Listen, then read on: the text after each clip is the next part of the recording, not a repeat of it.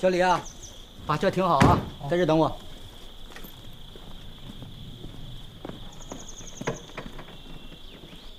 我今天来呢，是受袁书记的指派，来调查一下小双同志在工作当中的一些事情。希望你能够严肃的对待。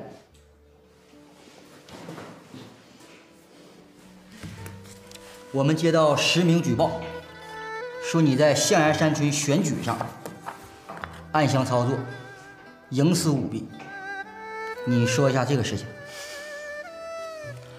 同志，我们筹备委员会的选举是通过村民的投票，谁票数高谁就进入委员会，不存在一点儿您说的暗箱操作问题。对，这个我可以作证。老徐，你别说话，我在问杜小双同志，你可以旁听。至于违没违规，我们会调查，您可以放心的去调查。请注意一下你的态度。还有，举报人说你在利益上坑农、害农，甚至谋财害命。同志，说话是要负责任的吧？别的问题我就不说了，你们可以去调查。这谋财害命是不是有点太严重了？那我要干了这事儿，我不早就被抓起来了吗？我很严肃的对待这次谈话，我也希望你们在问问题之前能够考虑考虑。小宋同志，注意你的态度。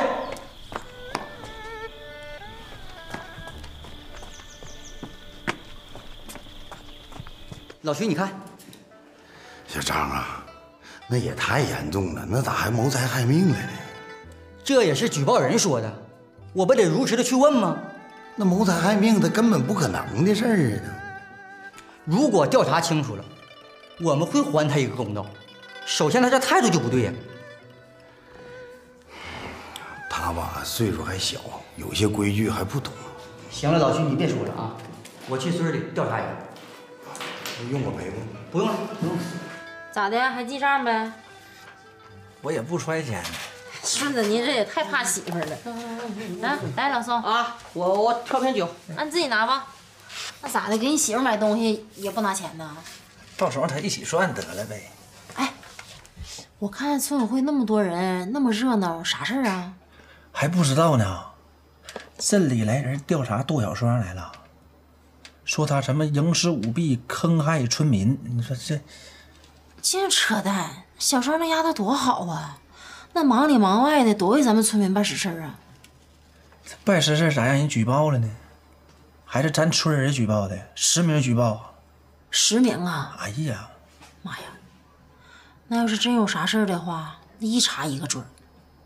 但我感觉小双这丫头不能啊。我跟你说啊，人小双要是啥事儿没有，就实名举报这人，肯定就废了。老宋，你干啥呀你啊？砸店呐？什么？没，我我什么这水水倒了？不是，你刚才说怎么怎么回事？你说我看着小双这孩子挺好的呀，你说是不是有人坏他？嗯嗯，哎呀，我我走了。你干啥去？哎，你不买酒吗？不不买了，今天不喝了。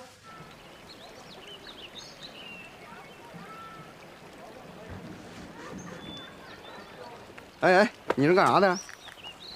啊，你是干啥的？我是山庄保安呢。我以前也是山庄保安，我在这干的时候你还没来呢。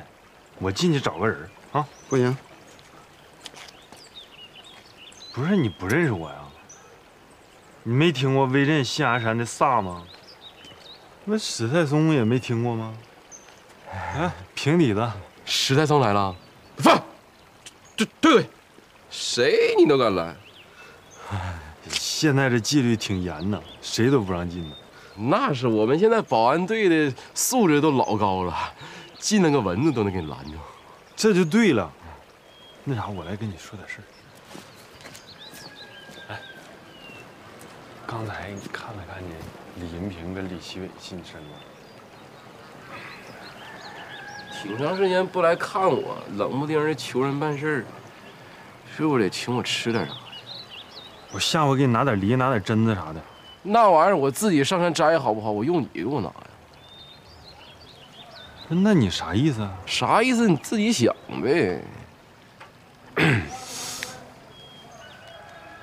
不是平底子这么长时间不见，你怎么变现实了呢？以前那兄弟感情都不管了，你信不信我惹急眼了我撒你？你撒我我就炸你，炸我？嗯，斗地主啊，四个二啊？啥玩意儿斗地主？就是削你的意思。我告诉你啊，我现在是山庄的保安队队长，如果有任何危险，我一声令下，这十来个兄弟都能炸死，你信不？你是不是逼我呀，平底子？咋的啊？你是不是逼我？咋的？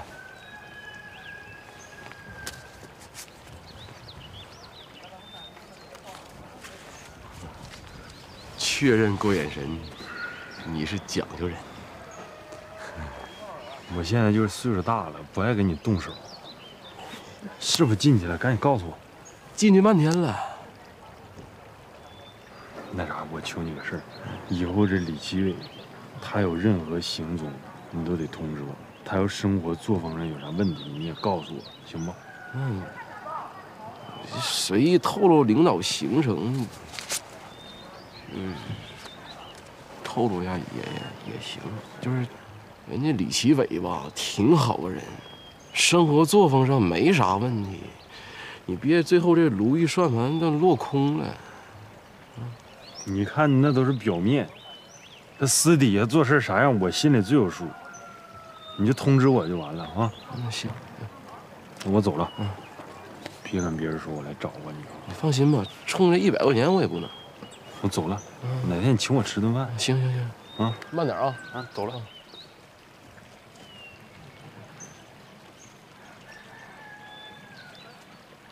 看着啥了？看见了，他给你钱了，炸你啊！那啥没看见？站好了啊！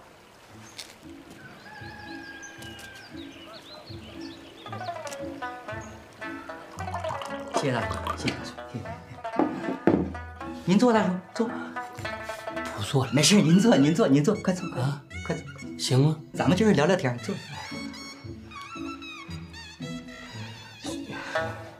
我吧，这么大岁数，头一次让人家这么审问，有点不太适应。大叔啊，咱们不是审问，就是调查。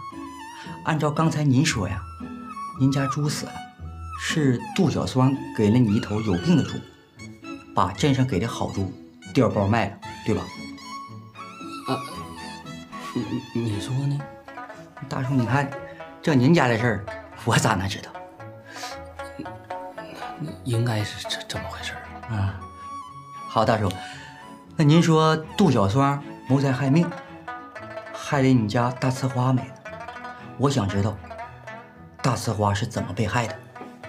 哎，那个大呲花呀，呃，是我们家猪，不是人，就是别名叫大呲花。我们家养那头猪啊。那猪死了，怎么能是谋财害命呢？你你算算呢？我们家那头猪没没没没有病啊，他送我那头猪有有有病啊，就这么的把我们家那头猪就传上了，完这猪就死了，这不算谋财害命吗？嗯，那我知道了。那您说杜小双在选举上有暗箱操作，这个是怎么回事？这那什么，这事儿我我是我不太明白，我替广坤说的。广坤也是猪？不不，广坤是人。哎呀妈，大叔，这不好意思啊，我被那个大呲花是猪这个给影响了。那个广坤参加的什么选举？杜小双暗箱操作的？好像什么这个筹备会呀，反正具体我也不太明白。大叔，你不清楚你就举报，你这不是不实举报吗？这事你得问广坤呢。大叔，我现在必须严肃地提醒一下你，如果经过调查，举报人与举报不属实的话，恶意诽谤，公安机关会介入调查，您将面临着是被拘留。哎呀，那什么，我没有别的意思，我就想问问这猪，可千万别拘留啊！我我姑娘还没结婚呢，你说我这拘留，这家就散了。大叔，你先别紧张，事情吧还没到这个地步。如果你反映的情况都是属实的话，就可以了。我我充能发誓。那不用，大叔。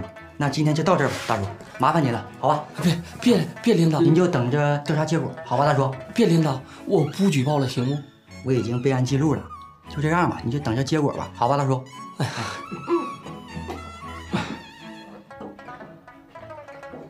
完了，这事儿闹大了。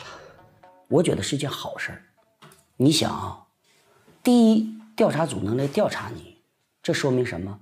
关心百姓。第二，调查结果真出来了，能还你个清白。第三，还能还你猪钱，这叫一箭三雕，不是好事吗？雕什么雕？雕雕啊！那个小双书记，那个那猪给我调包了，这事儿你能确定不？不能，不能确定。你让我举什么报啊？你不坑我呢吗？哎，老宋，你可千万别这么唠，咱们说话可要注意呀，得有准儿。我什么时候说我让我让你去告小双了？我什么时候让你去到镇里了？你不能血口喷人。我怎么血口喷人了？啊，不是你亲口白牙跟我说的吗？让我去举报吗？老宋啊，记住别激动，你听我跟你讲，这个事儿当时我是替你分析，我说，那么这个猪呢，也许是掉包了，也许它没掉包。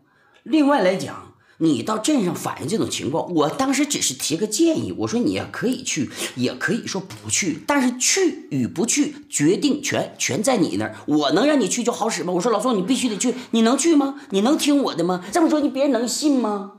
行行行行，我我我对吗？我说不过你，不是你说不过我，人得讲理。我我再问你啊，杜小双选举暗箱操作的事儿确定不？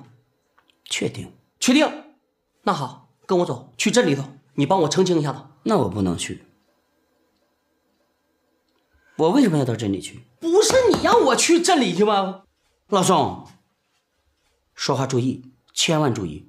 我什么时候让你上去镇里了？我压根我就没有那种想法。你再说了，你这么说到这里头是不是你去的？没看到我谢广坤。另外来讲，你说我让你去的，你有什么证据？你你有录音呢？你还有录像啊？你什么都没有，你夸夸你跟我唠这么多，老宋你这么做事你不对呀！我当时我所有的事我都是为了你好，我看你宋贵挺可怜，我又帮你出出主意，又又帮你说点什么，给你分析分析情况。回头你个个你自己板不住，你啪啪你觉得你完你就到镇里了，回来要出事你完你看看你埋怨我，我好心我没赚出好意来。老宋，我真的我心挺寒呢。我跟你讲，老宋，王坤啊啊，你要这么说，我还怎么说呀？我还真得告诉你，你说呀，你告诉我什么？我跟调查人员说了啊，怎么的？选举暗箱操作这个事儿，嗯是你让我说的，跟我没关系啊。嗯嗯嗯，知道不？嗯，是出事了，你广坤也跑不了。老宋，你还别威胁我，这事儿我真不怕。你没有什么证据，再说压根儿我也没说这个事儿，我也没想让你去，那都是你自己的想法。你这属于是诬告，你知道不？这你叫罪加一等，你都不懂法，你。我不跟你说了啊，你就等着调查人员找你谈话吧。我看你能装到哪儿去？随时恭候，嘚瑟吧，恭候。好了，等着。我小样，我还整不了你了，我就等着。我还这我真就不信。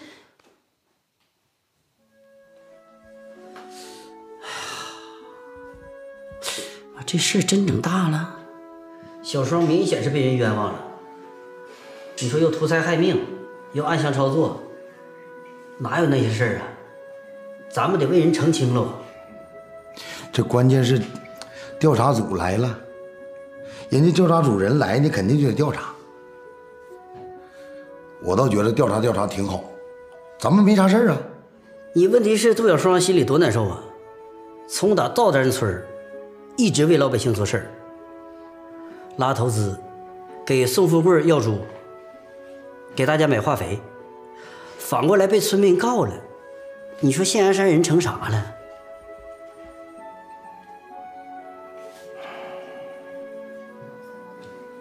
要不，明天我跟袁书记说说，再跟宋富贵谈谈。明天赶紧落实这个事儿。不对呀，一水啊，你原来不说杜小双没工作能力吗？你咋还向着他说话了呢？叔啊，咱得将心比心，论事不论人。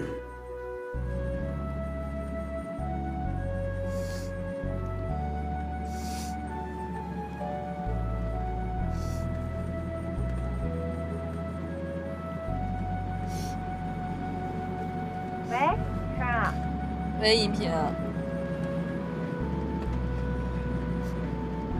两天先回家了，怎么了？没啥事儿，就是累了，回家休息休息。是不是因为调查委员会的事儿啊？你知道这事儿了？你别闹心，村民们有些过激的行为都正常，你别往心里去。你要实在闹心，回家待两天也行。等调查结果出来了，肯定能还你清白。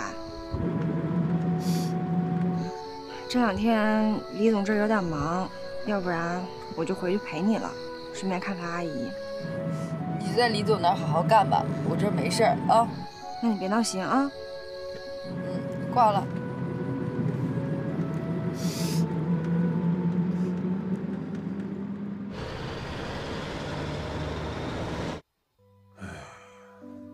你说李银平年纪轻轻的，为啥非得傍大款呢？你说两句实在搂，这瞪个大眼珠子，也不知道在这瞅啥。唉李奇伟，老牛吃嫩草，这高低不能让你俩这对野鸳鸯成功。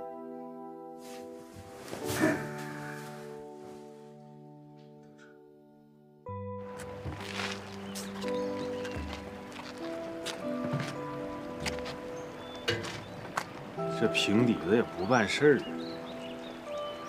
一百块钱白给他。史探松，呀，你在这干嘛呢？啊，我没啥事儿。哎，小李老师，你现在得叫小李秘书了哈。以前山庄有个小李秘书，后来小李秘书走了，又来个小李秘书。嗯，没想到我也成小李秘书了。你这是干啥去啊？我给我爸送点东西，刚回来。你这是要进山庄，还是要出去啊？你要进山庄吗？对呀、我也进山庄，那一起吧。你走吧。哎，我前几天看了一个新闻，挺有意思，就说一个六十多岁的老头跟一个二十多岁的小姑娘，俩人就谈恋爱了，你说有意思吗？那有什么有意思的？那就是真爱呗。你认为他俩是真爱？对呀、不然为什么要在一起啊？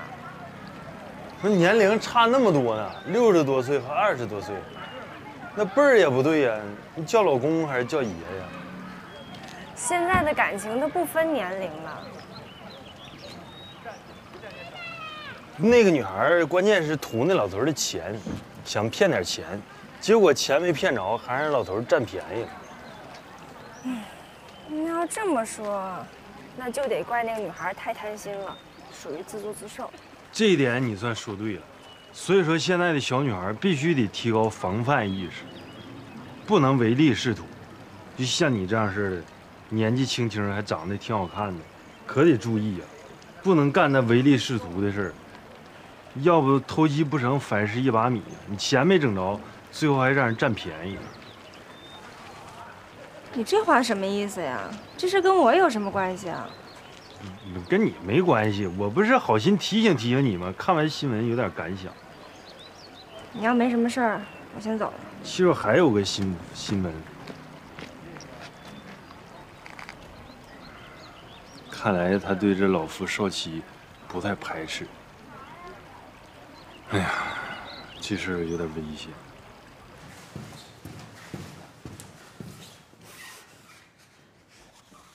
小双，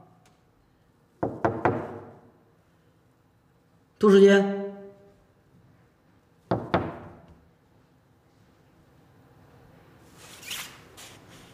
你在屋？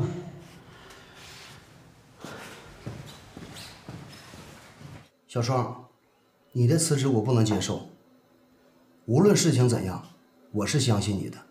既然有人投诉你，镇上就会去调查。你也不要过分敏感，这是一个干部应该承受的。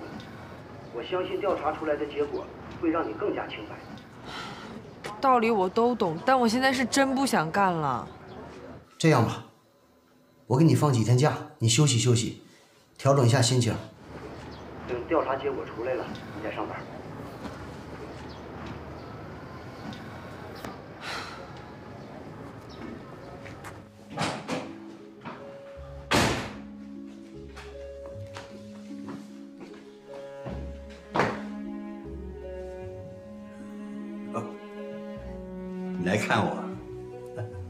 难得。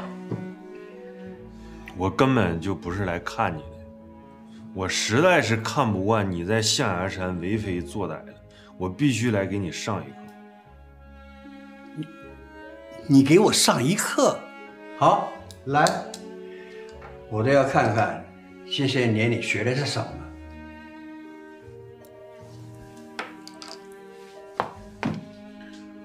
我问你，嗯，白雪公主为什么过着水深火热的生活？啊？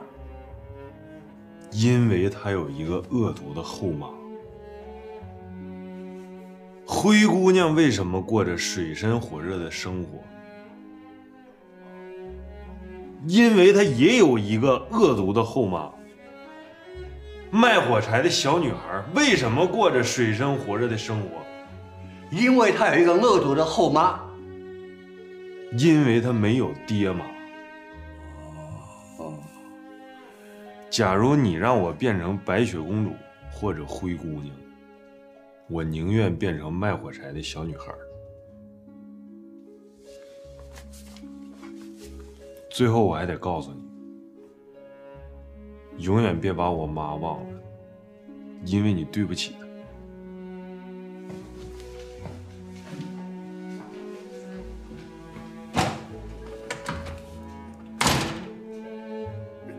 这是哪跟哪儿啊？一头雾水的。多大个事儿啊！咱不开心，咱就回来啊！哎，你瞅你一天挣的点钱，还没有妈开这洗衣店挣的多呢。知道了，妈，我的事儿你就别操心了啊。你看，还说不操心，妈能不操心吗？欺负我姑娘能行吗？有些个别人，咱还真就不能让着他。我姑娘，你犯啥错误了？凭什么查我们呢？不行的话，我找你们领导，我跟他好好掰扯掰扯。你跟人家掰扯什么呀？那我们领导能听你说这些吗？再说了，妈，我回家就是为了静一静，你能不能让我自己一个人好好想一想？妈不是怕你想不开吗？想啥呀？知道了，你快去忙你的吧啊！好吧，你自己想想吧。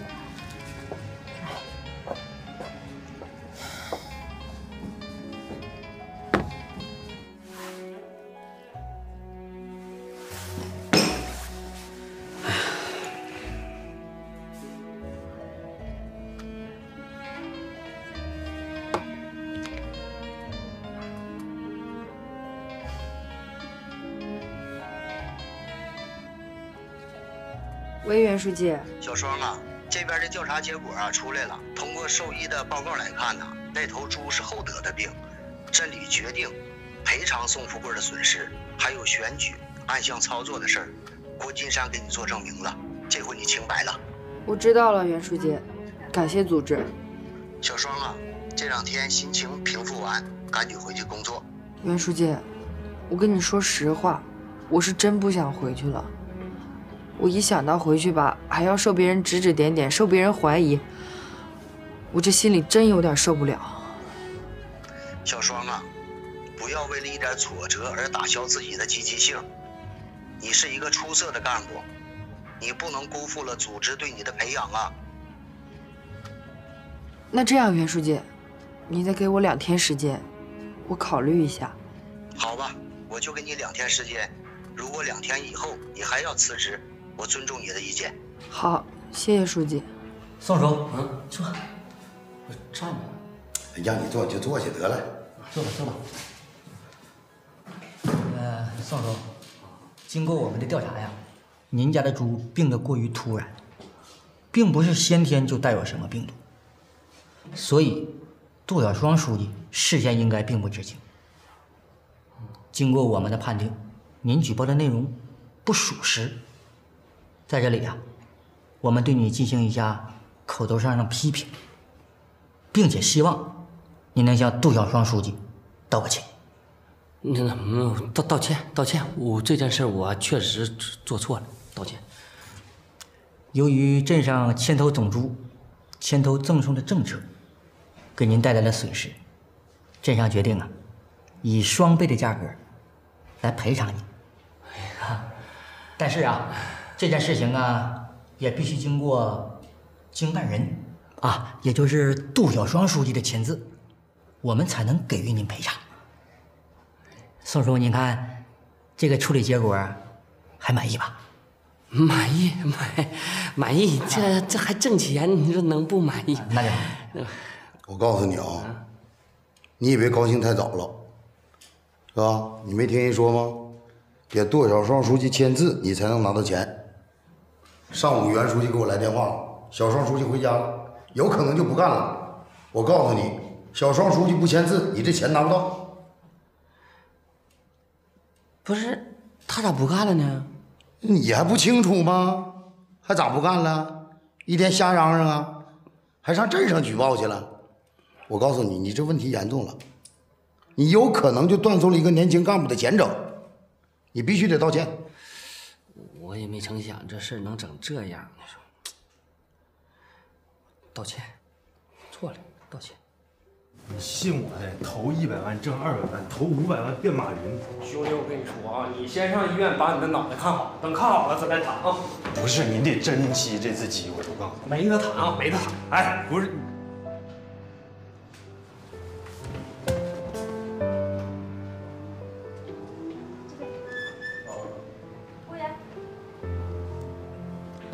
你来啦？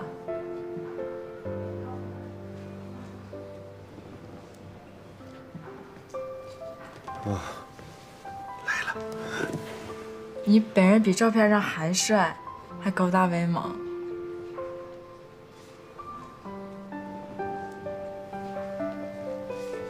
还有比我长得磕碜的。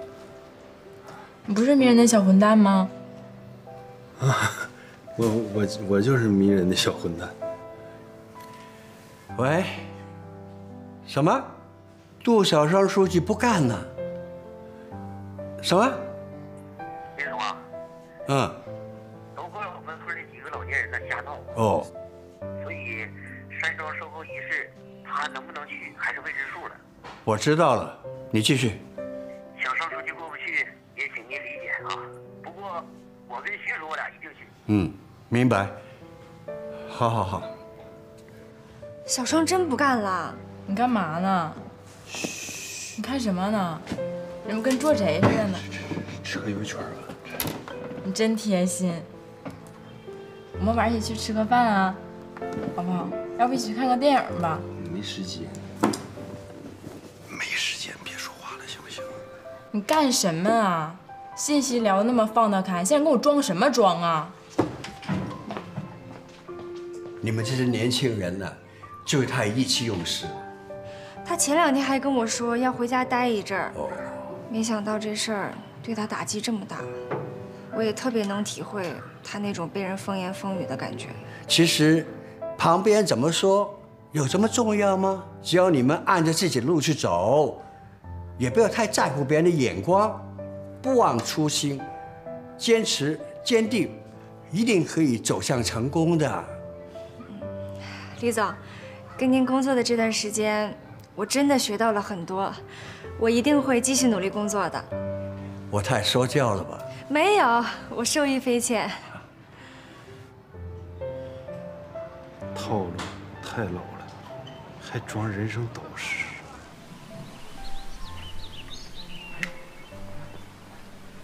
大家鼓掌欢迎啊！来来，立立正。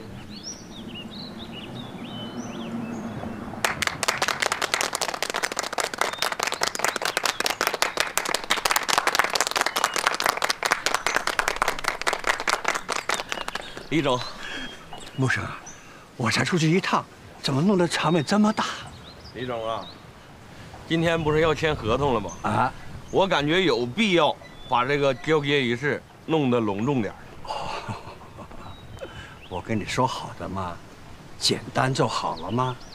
李总啊，从今以后你就是这个山庄的主人了，您就给我最后一次享受管理山庄的权利，行吗？Please。Thank you，行，谢谢。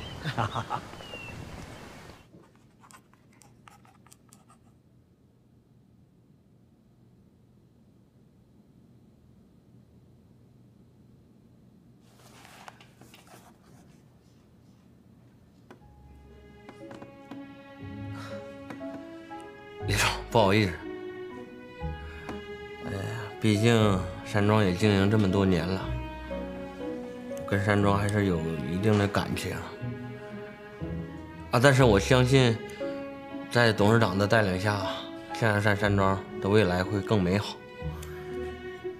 钟伟，嗯，你给各个部门传达下去，以后李奇伟先生就是咱们象牙山山庄的董事长，让他们履行好自己的职责，干好分内的工作。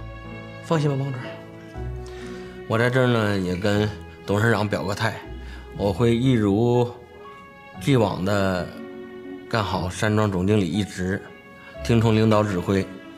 呃，如果有什么错的地方呢，请领导批评指正。也非常感谢咱们村里的徐主任还有一水能够亲临现场，呃，替我们做这个见证。非常感谢各位，以后山庄的事务就要靠多位多费心了。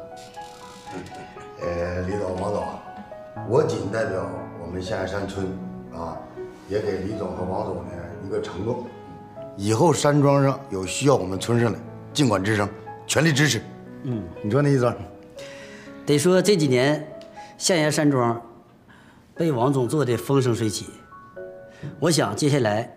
李总的介入，会使山庄进入一个更高的时代。是是是，我今天能够跟各位结缘，都因为杜小双的功劳，而他今天没有来，确实有点遗憾。还有，王大拿老先生，你父亲，他今天没能来，也是美中不足啊。董事长是这样。我父亲的身体呢，最近一直不太舒服，所以说，呃，这个转让仪式呢，我就全权代表了。但是小双那边他啊，小双书记这两天就回来了。那好，等他回来之后呢，我让他过来亲自拜访董事长。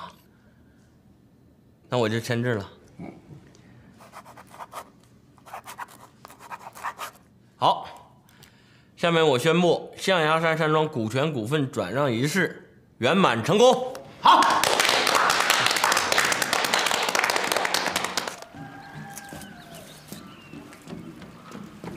哎，你干啥来了？我找李李总啊，李奇伟啊。你有所不知啊，李董事长现在已经正式收购了山庄，成为了山庄的董事长。此时此刻他正在宴请来宾，想必没有时间接见你。来吧，希望以后在咱们李董事长的带领下啊，咱们把本职工作都干好啊，为咱们山庄好好服务，好吧？来来，哎，头头，哎，李总，哎，不好意思，我没拦住他。你先忙去啊。李总，咋的，小峰？有事啊？啊，我来祝贺李总接管山庄圆满成功啊！啊，是祝福祝福，坐坐坐坐坐。祝贺了啊！那完事儿就就走吧。那个现在山庄最大的是李总，你下来了，别吱声。哦，小峰啊，找我有事啊？啊，坐着说吧。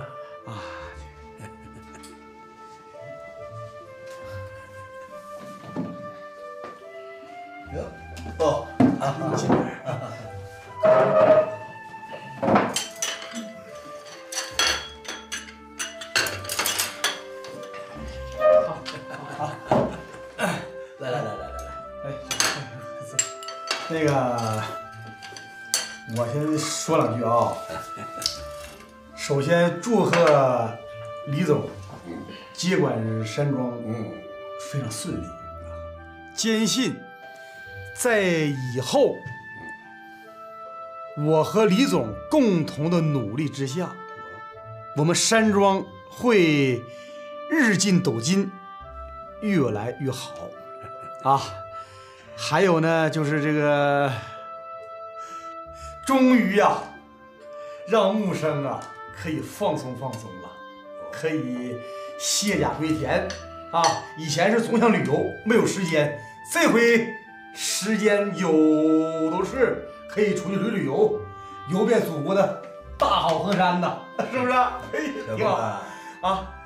木生啊，依然是我们山庄的总经理。不好意思，还是没时间旅游。嗯我也想去，还得管理。不是，这这李总这什么情况啊？这怎么还还是总总经理？嗯，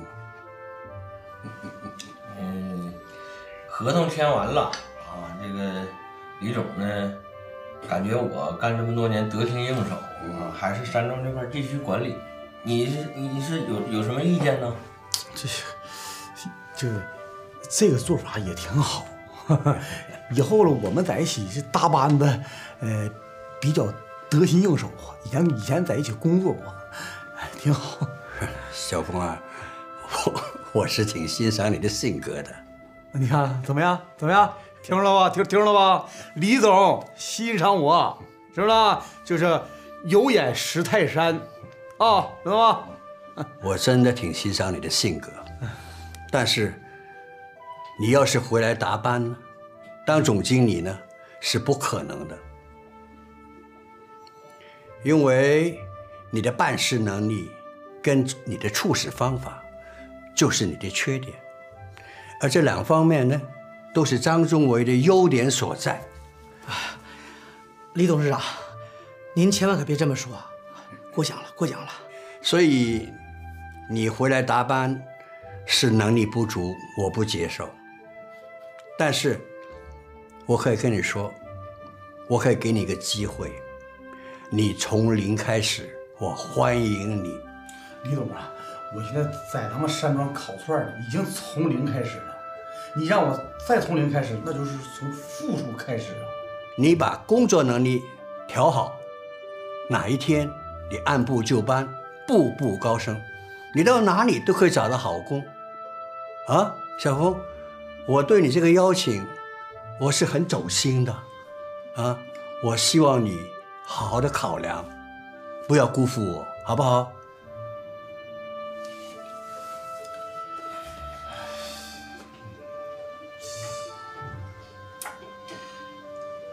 但李总我也听明白了，你们继继续吃吧，我在这儿挺尴尬，我就先走。